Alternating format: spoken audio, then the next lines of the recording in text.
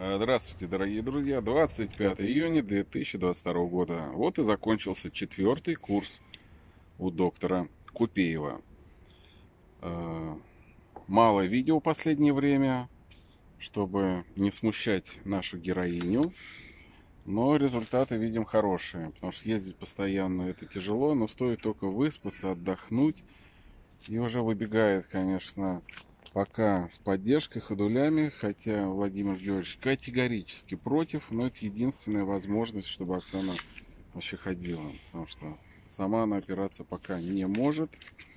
Вот, но об ощущениях и своих состояниях Оксана расскажет сама. Всем привет, мои хорошие. Четвертый курс был очень-очень-очень важен и настолько же очень тяжеловат, потому что два часа все-таки с половиной по Москве. Это, ну, как бы испытание даже для здорового человека. А вот, а почему важен был именно четвертый курс? Потому что он был под э, началом Владимира Георгиевича. Я очень э, получила твердые установки. Э, Сейчас их исполняю. То есть движение, движение, движение, движение, движение. движение. С утра сегодня стало 6 часов. 6. И сразу же упала на пол. Думаете, для чего? Для того, чтобы отжиматься. Но не отжималась, а делала кошечку собачку. Такое есть упражнение йоги.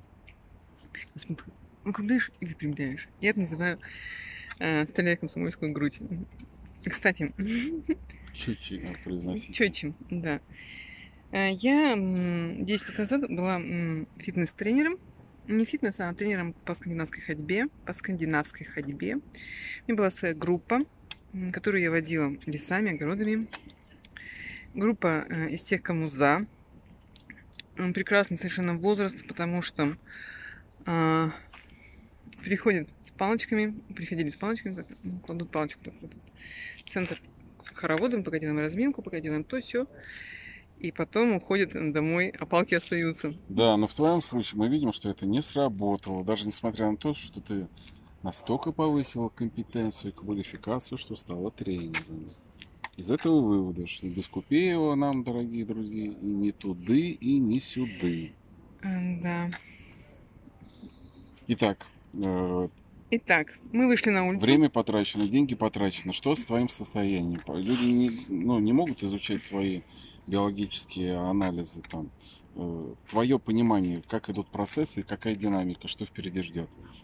А, Очень важно набраться терпения и системности.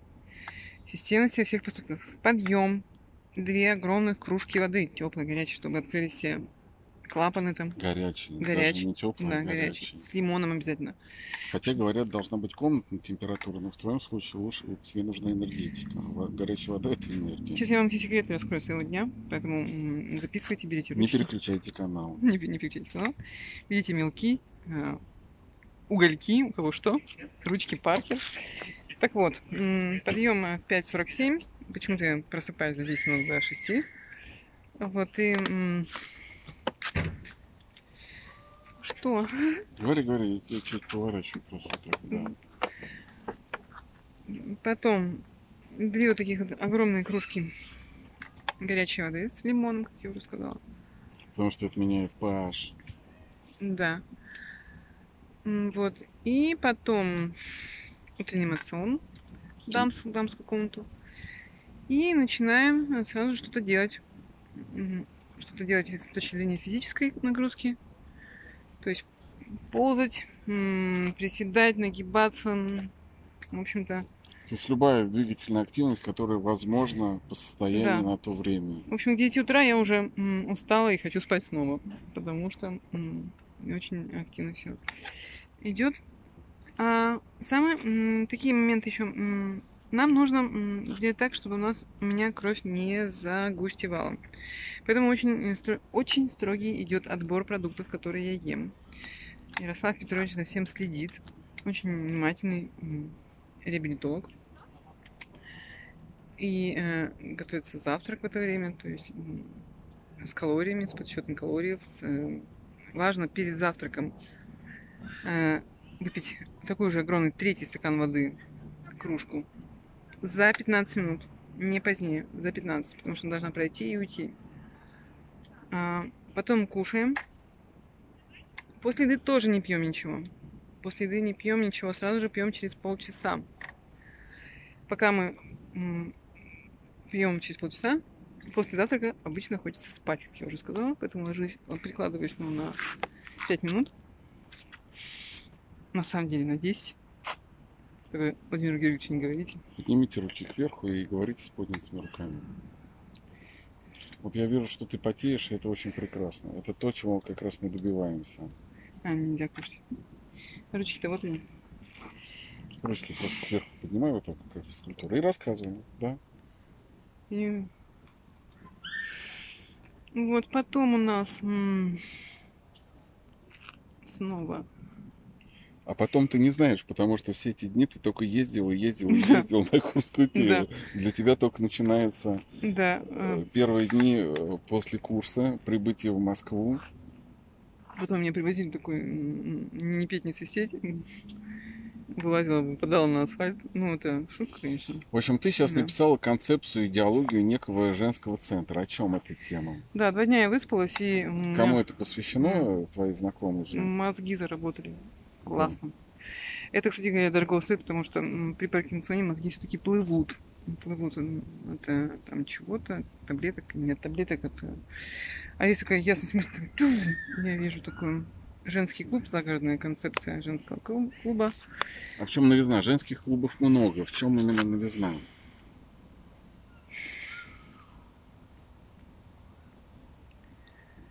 То, что он в Севастополе, а не в Москве, это первое. Туда рассказываем в. Да. Второе, то, что буду я там главное. Вот это значит, что будет все так круто, что даже мама не снилась. А идеология клуба такова, что мы берем за основу уход от общества потребления, от материальных ценностей в сторону общества созидания, общества благодати а, как бы громко звучит, помпезно, но как это на самом деле на практике. То есть мы, еще раз повторюсь, я жили очень, вы сами знаете, проамериканскими какими-то понятиями, когда эгоизм, эгоцентризм, все под себя, все себе. Я для меня мое куплю, хочу то, то, чем больше, как белка в колесе, берешь, покупаешь, покупаешь, зарабатываешь, потом вообще понимаешь, что жизни нету, потому что ты являешься рабом общественного потребления.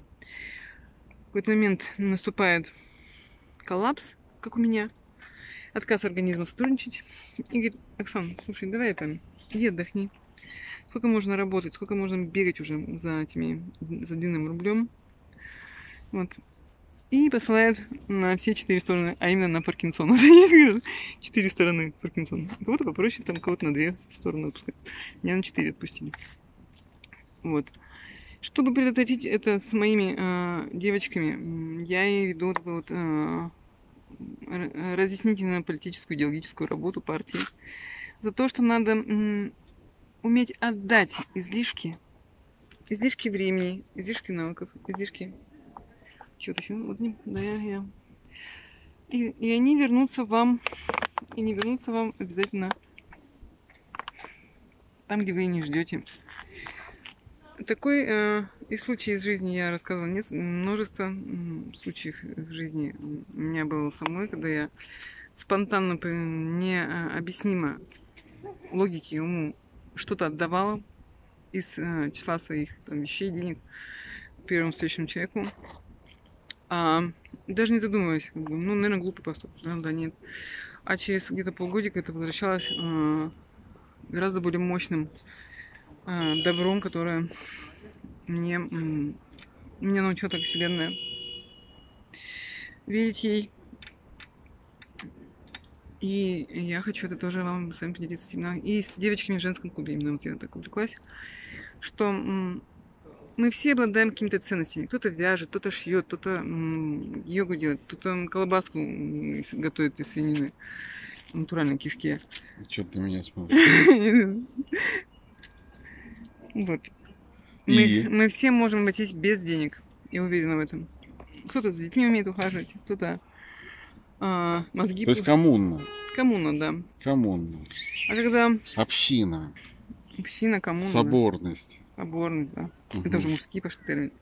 Ну а как по-вашему? Соборность, это что по-вашему? Мы просто называем это раем. Рай, рай. Да. Рай, когда пришли девчонки, значит, э, переоделись в летние шортики, маечки, никого не стесняясь, пошли, позанимались йогой, а, обменялись салатиками там сделанными дома или приготовили все вместе. Спросили, как у кого дела, у кого дети болеют, не болеют, здоровые. Написали какое-нибудь стихотворение вместе, сшили наволочку какую-нибудь Люси, как бы, и вот это, так вот. Дрова накололи соседям. Ну, да, да, да. В баньке попарились. Бабушку, Массаж сделали. бабушку перевели через дорогу. Опять же. Вот. И так вот э, живем сегодняшним днем, радуемся жизни и никаких денег. Зачем деньги-то в этом случае? Ну зачем? При условии, когда есть автономная энергетика. А для этого мы как раз и идем на выборы. Чтобы идея владела Тут себя массами. и снимай. А для, для этого мы идем на выборы, дорогие друзья, чтобы идея владела массами, и можно было выполнить заказ женщин. Сделать рай на земле. Если ресурсы исчерпаемые, ископаемые, и очень трудно их добывать, транспортировать и так далее, контролировать, то, наверное, нужно смотреть в корень, в корень, в эфир, в эфирную энергетику, вообще в эфирное мировоззрение, в ноосферное мировоззрение, позволяющее нам сделать что? Рай на земле. Я не знаю. Это когда помеха все время идет. Я когда говорю в камеру, мне всегда какая-то помеха идет. Такая, которая говорит про выборы. Ну, друзья, как бы это 25-й кадр. Я надеюсь, что вы тоже его увидели. Даже ты кандидат или не кандидат? Ну, нельзя же так под, этот, под, эм, Что? под стрелой-то стоять. Надо мягко все вводить. Понятие и выводить. Да, и в продолжение рассказа о женском клубе. То есть концепция, которая м, гласит о том, что идеология это переход от общества потребления к обществу созидания. Когда ты, в первую очередь, даешь, делаешь свой первый шаг, добровольный, осознанный шаг, ты отдаешь излишки. Отдаешь, и в это время начинается что-то строиться общее. Излишки отдаешь как бы в, в- на благо общего. Это общее начинает развиваться. Ну, допустим, ну смотрите, вот Великая Отечественная война. А, очень примитивно, ну, даже, наверное, цинично, ну или как не знаю, наоборот, м, каким-то словом, э, люди отдали свое время жизни и здоровью, то есть в общ... свое личное в копилку общего. Общее победило и вернуло это каждому человеку новым счастьем, то есть новым миром. Ну, такой вот пример у меня возник. Может быть, некорректно не совсем, но как бы так иначе. Также и здесь, а, отдавая, бе- не ожидая как бы благодарности, там, возмездности какой-то. Ну, приведу пример. Мгм. Приведу пример, дорогие друзья. Единицы двигают цивилизацию вперед. И общество думает, что ученый, если он изобрел, то он должен сразу принимать участие в разных грантах, куда-то бежать, доказывать там и так далее.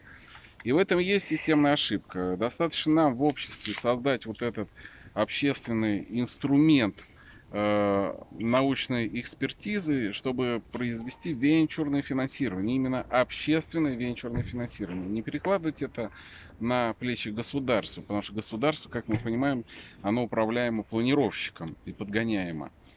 А собственный э, проект мы можем реализовать тогда, когда будем делать ставку на собственную идеологию и свою программу. Ну, о чем Оксана мягко так начинает говорить. Да, яблоки это основа диеты нашего организма, поэтому каждый день нужно съедать по килограмму яблок. Поэтому, извините, я в кадре и не могу остановиться, я уже на них. Скажи, пожалуйста, прошло уже, на сколько, пять месяцев мы с тобой на реабилитации, четвертый курс проходим, да? Да. Э, Потрачены деньги на продукты, деньги на перемещение, деньги. Э, Как ты оцениваешь вот то повышение качества жизни, которое это получило, оно ну, эквивалентно потраченному? Конечно, да. Туда рассказывай. Конечно, да. Эквивалентно. Даже с... э, Но много дней ты не снималась, у тебя сильно болит нога, э, ты иногда доходил до панических состояний, что все бесполезно. А сегодня солнышко засветило, ты полна оптимизма и И... Что? То есть ты не жалеешь о потраченных ресурсах. Нет. Знаешь почему? Да, почему? Потому что я встретила тебя. Она встретила, а я встретил ее, дорогие друзья. Вот. Такая маленькая, маленькая ремарочка. И почему? Ну что, стоп снято? Спасибо, дорогие мои. Спасибо. Всем счастья, любви и всего доброго. Да, пользуясь случаем, хотел сделать рекламу э, катушкам Мишина, э, производственного объединения в Тольятти, Юкон. Э, кто уже неоднократно присылал свои катушки на тестирование. Игорь Биопатриот прислал масло. Александр по биополям. Матрица. Одеяло, под которым мы Э, спим. Николаев. Николаев, Упал Николаев, да. Владимир его живет. Владимир. Яросвет и множество-множество. Перечислять можно долгий список. По-хорошему, конечно, всех надо внести в титр, кто принимает участие. Как я Оксане говорил, я ну, не могу обещать, что связавшись со мной, ты навеки вечные э, обретешь истинное счастье. Но я могу попытаться сделать так, что вне зависимости от того, буду я рядом или Вселенная нас разлучит, вокруг тебя будут десятки, сотни, тысячи, миллионы людей, э, которые стали свидетелями твоего выздоровления и служения которым, и взаимодействие с которыми наполняют Оксану смыслом жизни, счастьем. Это запитывает ее энергетическую машину внутри организма. Митохондрии повышают электрическое, значит, э, выработку электричества. pH организма меняется, стволовые клетки вырабатываются, дофамин начинает работать э, в нужной pH-среде. Тазобедренные кости все регенерируются, все клеточки восстанавливаются Отрастают. по образу и подобию, как вот омолаживается кожа, хорошеет э, кровь, прекрасные анализы мочи и кала. Извините за подробности, но да, и это... Кала не было. Крови. Расскажи про... про книжку, раз уж ты заговорил об этом. Ну, книжка, про которую говорил Купеев, вот очень многим понравилась книга э, «Кишечник и мозг». А какой там один из вариантов? Брать э, каловые массы от одного человека и вводить другому человеку. Методы ведения могут быть разные. Даже в книге описан метод, когда брали, сушили, делали таблетки и давали человеку глотать. И это тоже оказывало влияние на микрофлору. Ну еще бы. В природе это известно, когда животные доедают э, отходы жизнедеятельности, особенно высушенные. Бедуины, значит, используют жидкую фракцию верблюдов для того, чтобы остановить диарею, в простонародье понос. Ну вот это касательно микрофлоры.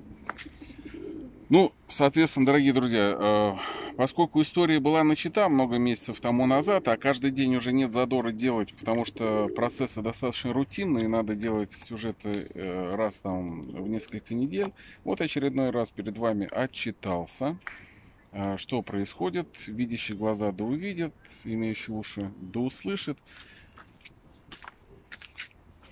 Ну-ка, пройдите модельной походкой. Вы умеете ходить модельной походкой? Да, так.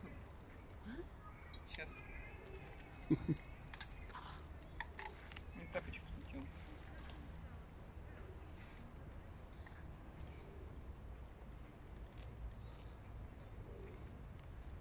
А вот на правой ноге Оксана такого пока не может, не может.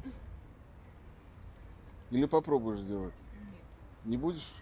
Больно.